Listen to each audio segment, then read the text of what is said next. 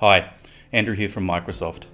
Working from home can be really frustrating, especially if you've got an unproductive operating system. Fortunately, Windows 10 is here to help. Check out some of our top tips to help you be more productive when you're working from home. All of us depend on our PC to be able to get stuff done, and we all know how frustrating it can be when programs and web pages don't load fast enough. It needs to work for you.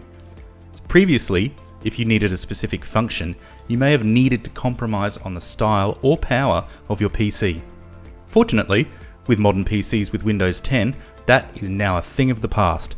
So whether you're crunching numbers in a mathematical model or putting the finishing design touches on your work, Windows has great devices on the market with powerful processors across an amazing range of manufacturers for you to choose from. So now you can get your job done easily without it slowing you down.